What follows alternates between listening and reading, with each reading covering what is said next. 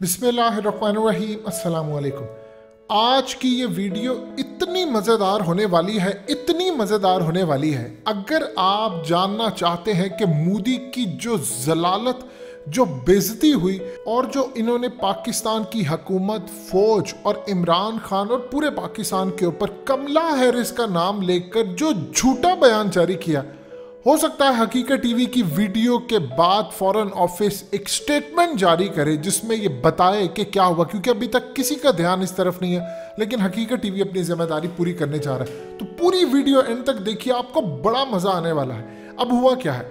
देखिए, एक तो हकीकत टीवी ने आपको वीडियो बनाकर दी थी कि इंडियन मीडिया वहाँ पर गया जब तो सबसे पहले उनके साथ हाथ हो गया। हाथ ये हुआ कि मोदी के बारे में कवरेज करने के लिए इंडिया की टॉप एंकर ने वाशिंगटन पोस्ट के अंदर वॉल स्ट्रीट जर्नल का जो अखबार था वो खोला तो वहाँ पर ना मोदी का ज़िक्र था, ना कुछ था। तो इतनी बेजती ये हुई। और उसके बाद हकीकत टीवी ने वीडियो बनाकर दी कि इतने घंटे गुजर गए हैं, कमला हैरिस ने कोई ट्वीट नहीं किया। अब हकीकत टीवी की वीडियो के बाद इंडिया में वीडियो गई। ज़ाहिर सी बात है ऑफिशियल्स भी देखते हैं हर जगह। इस वीडियो की अहम डिस्कशन चलती रहेगी। लेकिन इससे पहले आप वीडियो को लाइक करें, हकीकत टीवी को सब्सक्राइब कर लें और बेल आइकन पर ज़रूर क्लिक करें। तो उन्होंने अमेरिका के ऊपर भी प्रेशर डाला कि आपने जिन जिन लोगों से मिले हैं, सबकी ट्वीट, सब कुछ किया है, लेकिन मोदी के बारे में। तो उन्होंने कम अज कम कम अज कम उन्होंने, कल भी उन्होंने विज़िट किया, कल कई घंटों के बाद जाकर सिर्फ़ इतना बताया कि मोदी से मुलाकात हुई। अब हुआ क्या है?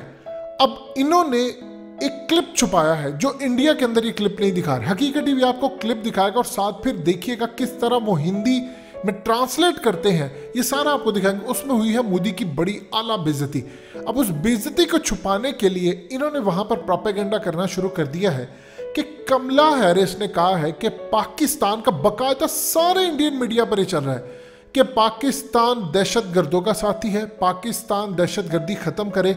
और पाकिस्तान की सरजमीन से दहशत गर्दी हो रही है इंडिया के खिलाफ। हकीकत टीवी पूरी तरह इस वीडियो में बताएगा कि एक सिंगल स्टेटमेंट पाकिस्तान के खिलाफ जारी नहीं की और ये इतनी बड़ी चार्जशीट है कि हकीकत टीवी कह रहा है कि अभी तक फॉरेन ऑफ़िस ने कोई बयान नहीं दिया। हकीकत टीवी के वीडियो के बाद फौरी तौर पर एक बयान जारी करे और पूछे कि कमला हैरिस ने कहाँ पर, किस प्रेस ब्रीफिंग के अंदर ये बात की है जो इंडिया क्लेम कर रहा है। आपको बताएँगे क्या सूरत हाल हुई। पहले आपने गौर से ये क्लिप देखना है। पहले कमला हैरिस बोलेगी इंग्लिश में फिर वहाँ पर खड़ी हुई एक हिंदी के अंदर जो खातून है वो ट्रांसलेट करेगी। आपको बताएँगे उसने मोदी की बेजती की है पूरी तरह और पूरे भारत के अंदर ये क्लिप को छुपाया जा रहा है। इसीलिए पाकिस्तान पर नाम डाला जा रहा है क्योंकि कोई क्लिप ना देखे। हकीकत भी आपको दिखा रहा है। गौर से पहले आपने क्लिप देखना फिर आपको बताते हैं कि असल में हुआ क्या है। Finally, as democracies around the world, are under threat.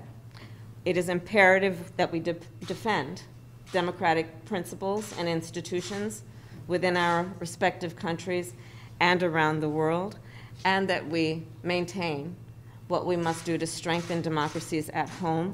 And it is incumbent on our nations to, of course, protect democracies in the best interest of the people of our countries. और क्योंकि इस समय विश्व भर में गणतंत्र खतरे में है खतरे का सामना कर रहा है हमारे देशों के लिए अति आवश्यक हो जाता है कि चाहे कितनी भी चुनौतियाँ हमारे सामने क्यों ना आएँ, हम यह साबित करें कि लोकतंत्र उनकी आवश्यकताएँ पूरी कर सकता है और लोकतंत्र को हमें और अधिक सुदृढ़ बनाना है। आपने ये क्लिप देखा? अब आपको समझ आ गई, असल में कमला हैरिस ने, जिसको ये इंडिया में कहते हैं कमला दीदी, और असल में बाहर इसको कमला हैरिस बोलते हैं। अब कमला हैरिस या इनकी कमला दीदी, उन्होंने असल में याद रखिए, वो है जो बाइडेन की वाइस प्रेसिडेंट जो बाइडेन ने इकतदार हासिल किया था, ये कहकर कि इंडिया के अंदर जो ख़ास तौर पर ह्यूमन राइट्स की वायलेशन हो रही है, मुसलमानों पर जुल्म किया जा रहा है या सऊदी अरब में जो जुल्म किया जाता है मुसलमानों पर और दीगर जगहों पर। यह बात उसने कही और उसने कहा कि मैं आकर मोहम्मद बिन सलमान को सज़ा दूँगा। यानी वो कहता है कि ये अरब वर्ल्ड जितना भी है, ये वहाँ पर चाहे वो कोई भी रहते हों या पाकिस्तानी हो वर्कर्स हो, उन सब के हकूक़ को सल्व करते हैं। अब उसके साथ उन्होंने इंडिया का भी नाम लिया। अब जब जो बाइडन इकतदार में है तो ज़ाहिर सी बात है तो सऊदिया के खिलाफ वो खड़े हो गए। दूसरा, कमला हैरिस से ये उम्मीदें लगाकर बैठे थे कि वो इंडियन ऑरिजन है।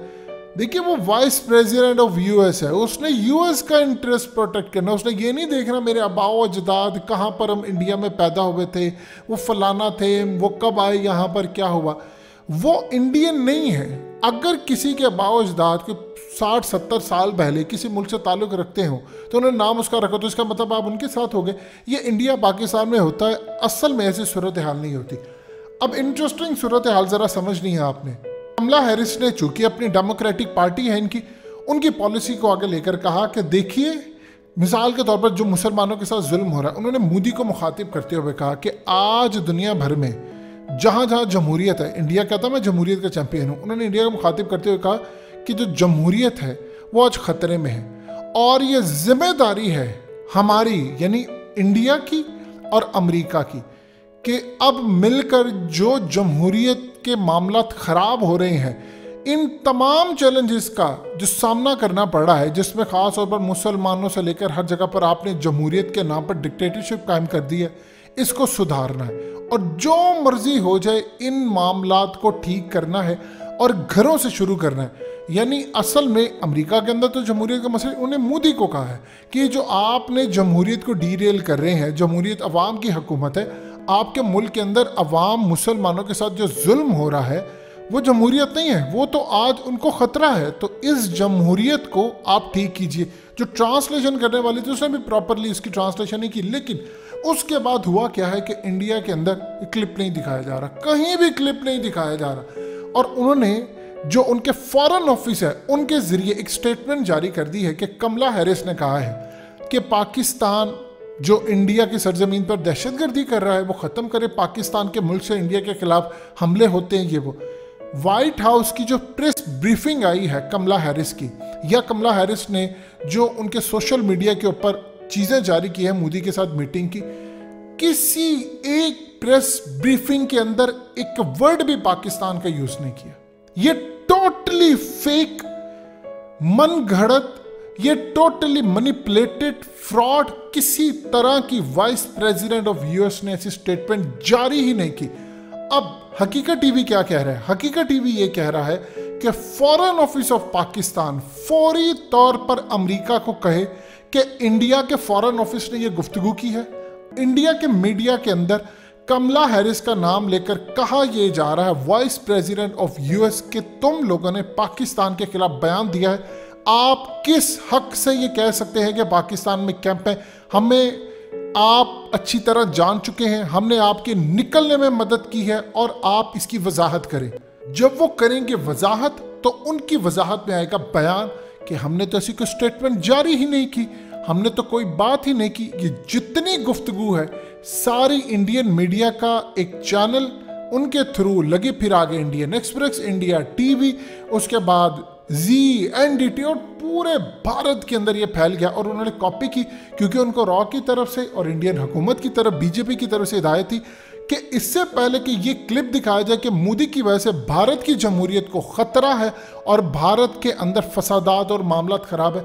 लिहाजा बेहतर ये है कि आप इस पूरे खेल के अंदर अपने घर को ठीक करें। अब यहाँ पर सूरत हाल है कि जब वो पाकिस्तान से बात करेंगे और कहेंगे, हमने तो ऐसा कहा नहीं तो फिर उसके बाद जो इंडिया की बेजती होगी, वो देखने वाली होगी। इस चीज़ को पीछे नहीं छोड़ना, ये फॉरेन ऑफ़िस का काम है कि फौरी तौर पर वजाहत मांगे। जब वो वजाहत करेंगे क्योंकि उन्होंने अपनी प्रेस ब्रीफिंग में कहा है कि मोदी के साथ जो मामला था, इसमें जमहूरीत की मजबूती की बात की गई है। इसके बाद इंडो पैसिफिक की बात की गई है। कोरोना से निमटना कैसे ऐसे बातचीत की गई है। कहीं उन्होंने कोई ऐसा ज़िक्र नहीं किया। अब ये बहुत बड़ा खेल है जो पाकिस्तान को जीतना है और ये इतनी इंसल्ट हुई है मोदी की कि उन्होंने कहा कि तुम्हारे मुल्क में जमहूरियत खतरे में है, इसको ठीक करो। यानी ये छोड़ो ये सारे ड्रामे ड्रूमे तुम्हें ये जो यहाँ पर एक्टिंग करते हो, यहाँ पर कोई अंबानी या अडानी नहीं है जो आकर खरीदेंगे। तो ये इस वक्त सूरत हाल में बड़ी डेवलपमेंट है। हकीकत टीवी ने अपना रोल प्ले कर दिया है। अब ज़िम्मेदारी है इमरान खान की हुकूमत की। ये ट्रेन मिस नहीं करनी आपने।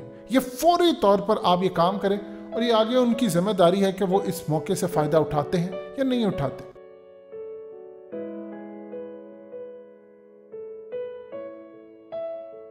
हकीकत टीवी को सब्सक्राइब करना मत भूलें, वीडियो को लाइक करें, शेयर करें और कमेंट सेक्शन में अपनी राय का इजहार ज़रूर करें।